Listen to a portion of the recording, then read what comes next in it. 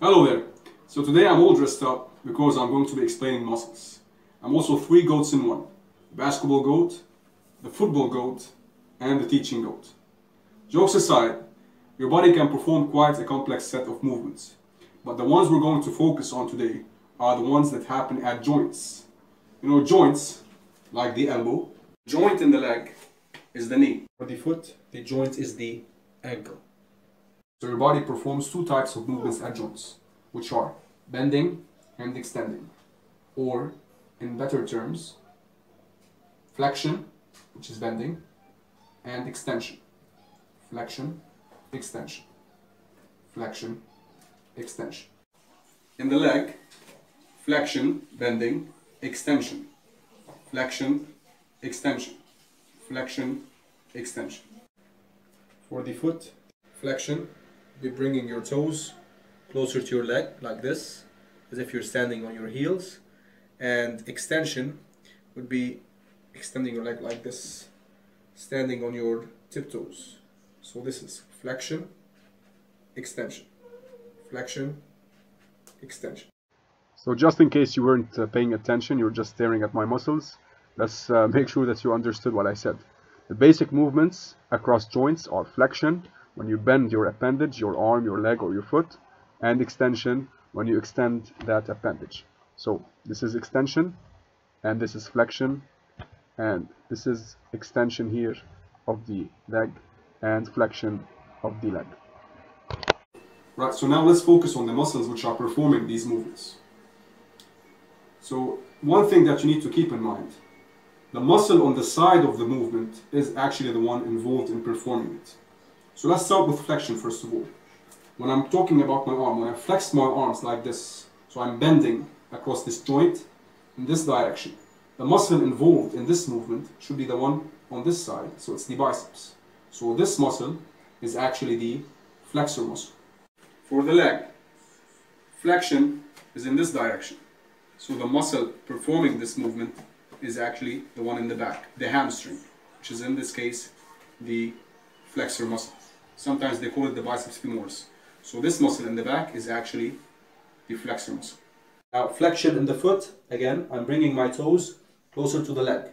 So the muscle performing the action is the one on this side, which is the flexor. In this case, it's called the tibialis anterior or the anterior tibialis. So this is the flexor muscle right here. You can actually sense and feel its contraction when you're bending your foot. Again, let's make sure that you got it. Flexors are the muscles responsible for flexion. So for the leg, the flexor is actually the one at the bottom here, the hamstring. When it contracts, it will become shorter and your leg will be pulled in this direction. So the leg will bend. So this way. Flexion, flexion, and flexion. Now the same thing for your foot. The muscle performing the, the contraction or the, the activity or the function is in the front. The flexor is called the tibialis anterior. At the beginning here it's relaxed, it's longer and thinner. When it contracts, it will pull the foot upwards in this direction. So like so. And again, and again. Now returning to the arm. When I'm extending my arm, like so, so the movement is in this direction, backwards, the muscle involved should be the one in the back, which is this muscle, the triceps. So the triceps is actually the extensor muscle. The flexor is the biceps, which flexes the arm. The extensor is the triceps, which extends the arm. For the leg again, when I extend my leg, the direction of movement is to the front. So the muscle performing this movement is actually this one, the one in the front, the quadriceps. So this is the extensor. The one in the back is the flexor. The one in the front is the extensor flexion, extension. For the foot again, extension would be in this way, as if you're standing on your tiptoes. So the muscle performing the action is the one in the back, on the side of the movement. So this is actually the extensor, the hibatat the duck of the leg, or we call it the triceps sura. So this is the extensor. Alright, again repeating the same idea, just to make it clear. So extensors are the muscles that are responsible for the extension of your leg, foot, or whatever. So for the leg, the extensor muscle is the quadriceps, located here. when this muscle contracts, it will pull your leg upwards in this way. And again, and again. For the foot, the extensor muscle is the triceps sura, a group of two muscles located here. بنسميها البطة. Of course, it's not called the duck of the leg, I was joking. When it contracts, the foot is extended in this way. And again, and again. Your muscles actually pass in two states. They're either contracted or they're relaxed. When they're contracted, يعني شادين, they become shorter and thicker because they're pulling your body parts closer together. And when they're relaxed, they become what? Softer and longer. Now, remember, both the flexor and the extensor muscle pass through these two states. When I do my arm like this, the flexor is contracted, the extensor is relaxed. When I extend my arm, now the extensor is contracted, the flexor is relaxed. So don't confuse flexion with contraction and extension with relaxation. Both the flexor and the extensor can contract or relax, depending on the movement that you're doing, if you're flexing or extending. Okay, so now we established that we have two types of muscles working across the joint, and they actually have opposite functions. We have the flexors, which flex or bend your body parts, your arms, your legs, or your feet, and we have the extensors, which extend. So now let's think about the function or the status of each muscle during each movement. So let's start with the arm again. When I flex my arm, obviously the flexor, as we said, the biceps is contracted. What about the extensor, the opposite muscle, at this time? This one, the triceps. At this particular moment, the extensor should be inactivated. For what reason? Because if both muscles are pulling in their directions, my arm will sim simply stick in the, in the middle. Or it will be like a tug of war. The one pulling the most will win. So when I want to flex, I'm letting the flexor win and the extensor is being relaxed. When I'm doing the opposite, the opposite is actually happening. Now the extensor is contracted, the triceps in this case, and the flexor is relaxed. So these are called antagonistic muscles, meaning they work opposite to each other. When one contracts, the other relaxes. The same thing for the leg. When I flex my leg, the flexor is working. When I extend, the extensor is working. When I flex, the flexor has to contract. At the same time, the extensor has to relax. And when I extend, the opposite happens. The extensor contracts and the flexor relaxes. So they are antagonistic muscles also. For the foot now, the alternating movements would be flexion, extension, flexion, extension. When I flex, the flexor muscle, the tibialis anterior contracts.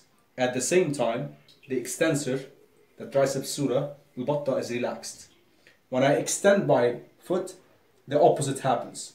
Now the extensor, the triceps sura is contracted, the flexor is relaxed. Again, antagonistic muscles. Okay, so the flexor and the extensor muscles qualify as antagonistic muscles, meaning that they have opposite functions and when one is active or contracts, the other is relatively inactive or is relaxed. So let's take a closer look at that. Here in the leg, the antagonistic muscles, this is the flex, the extensor again, this is the flexor. When we extend our leg, the extensor is contracted, the flexor is relaxed. When we do the opposite, now the flexor is contracted and the extensor is relaxed again and again. They are all working in opposite manners. And for the foot, the same idea. This is in the back the extensor, the triceps sura, and this is the flexor, the tibialis anterior. When we extend our foot, this is contracted, it becomes thicker and shorter. This is relaxed. When we do the opposite, what happened? Now this is contracted, the flexor is contracted, and the extensor is relaxed. So they are working opposite to each other. They are antagonistic muscles. This is a summary of uh, the movements in the leg and the foot.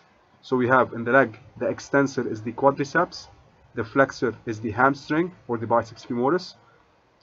During flexion, this is the movement here, the flexor is contracted whereas the extensor is relaxed. Whereas during extension, the flexor is relaxed and the extensor is now contracted. The same thing for the foot. The extensor is the triceps sura in the back, the flexor is the tibialis anterior in the front. During flexion, the flexor contracts, the extensor relaxes, and during extension, the flexor is relaxed and the extensor is contracted. Study the activity of these muscles when we're working in alternating voluntary movements. When I say voluntary movements, meaning that I'm deciding to do them. So I'm going to flex my arm, then extend.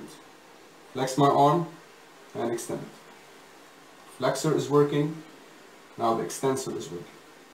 Finally, an application exercise. So in your books, they say using an EXAO, uh, which is French for Expérimentation assistée par l'ordinateur, or a computer assisted experiment.